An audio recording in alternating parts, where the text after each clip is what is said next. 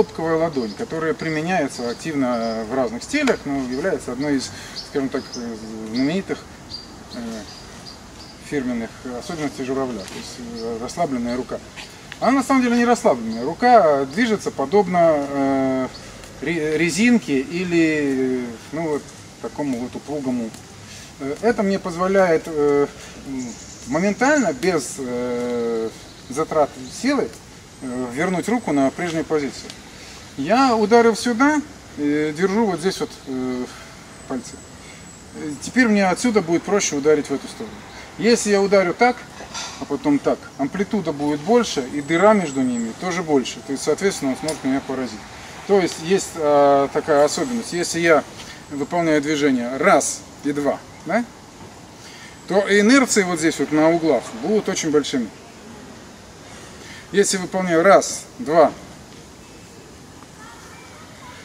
концовки четкие, инерции маленькие, контроль хороший. То есть вот через, через вращение, через расслабленную руку. Вот это. Здесь та же самая история. Вот я выхлестнул. Пальцы при этом попадают ему глаз, закрывают ему глаз. Раз, два. Раз, два. Я зацепил сюда. Раз, два. Я прихватил руку отсюда. Да? Раз, два. Я руку потащил сюда. То есть э, вот такая получается вещь. Вот я вытащил, вот я схватил его за руку, вот я ударил. Раз, два. Раз, два. Думать о том, что будет одиночный удар, глупо. Вот человек бьет второй рукой. Мы должны использовать эту же руку противника для того, чтобы мешать ему бить. То есть он э, в данном случае ему бить неудобно. Поэтому нет, нет никакой выгоды толкать руку в эту сторону, подставляясь под эту сторону. Э, для того, чтобы э, э, идти, то есть чтобы открыть человека изнутри с этой стороны, я должен двигаться в эту сторону сразу. И держать заранее заготовленную вторую руку вот в форме щита. Вот, вот эту вот штуку возле головы. То есть так же точно совершенно, как это делает боксер. Вот, вот мы сделали, у меня рука вот здесь. Есть вот положение характерное. Да? Вышел. Вышел. Вышел. Да? Вышел. Вышел. Вышел. О.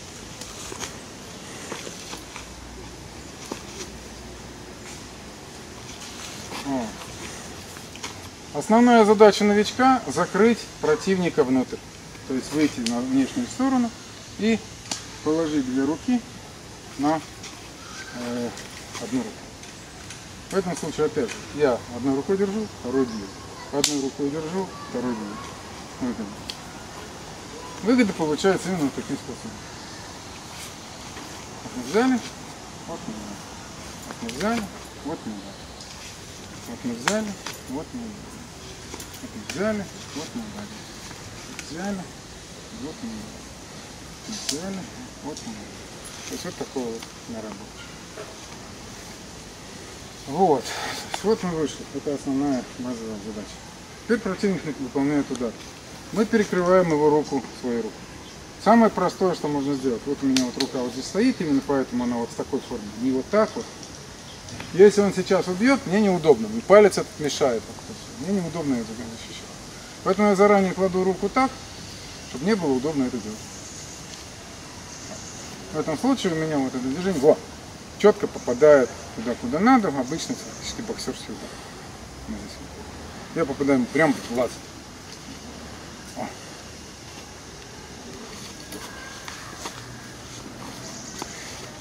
Вот стандартная ситуация.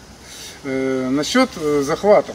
Вот все говорят, что мол, типа, поймать руку противника нельзя. Ну, э, это справедливо, для, если вот, например, мы стоим, и он пытается ударить меня этой рукой, а я пытаюсь да, это действительно очень трудно. Одну руку поймать нельзя, потому что сразу же начинается удар второй руки. Но фишка-то в том, что я не буду ловить первую руку, я буду ловить именно вторую.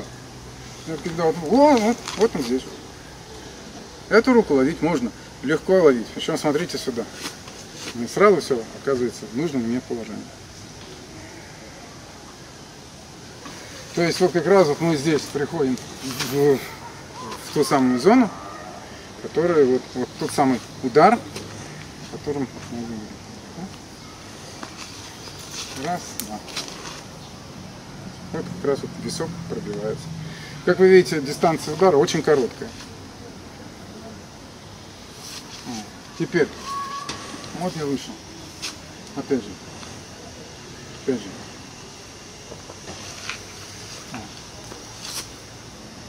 Э, Противник может атаковать э, разным способом. Например, он дважды ударит одной и той же рукой. Раз, два. Раз, два. То есть вот, вот эти вот вращающиеся, постоянно находящиеся здесь руки выполняют вот такую функцию.